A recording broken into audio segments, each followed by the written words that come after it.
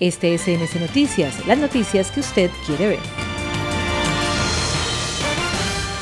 Continuamos con más información porque en el municipio de Andalucía, mediante el registro de detención y allanamiento, fueron capturadas dos personas a quienes se les incautó un arma de fuego y cartuchos para las mismas.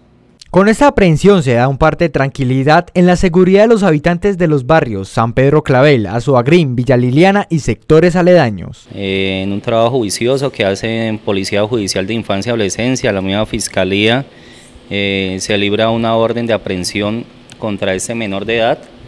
Ese menor, eh, para conocimiento de todos, había sido capturado o aprendido en 10 oportunidades, 8 de ellas por eh, hurto y dos por tráfico y porte de estupefacientes.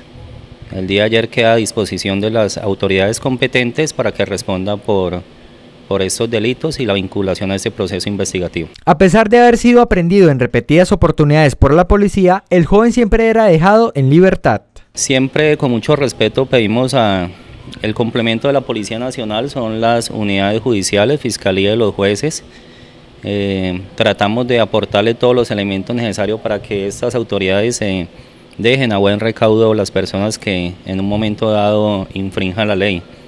En este caso, aunque un poco demorado porque ya habían sido o ya había sido aprendido 10 veces por la Policía Nacional y dejado en libertad, pero en esa recolección de elementos necesarios y con los antecedentes que presentaba ese menor de edad, pues se libra la orden de aprehensión trabajo liderado por Fiscalía y por Policía de Infancia y Adolescencia, la Policía Judicial.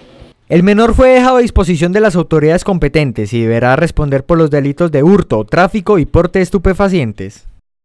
Este es NS Noticias, las noticias que usted quiere ver.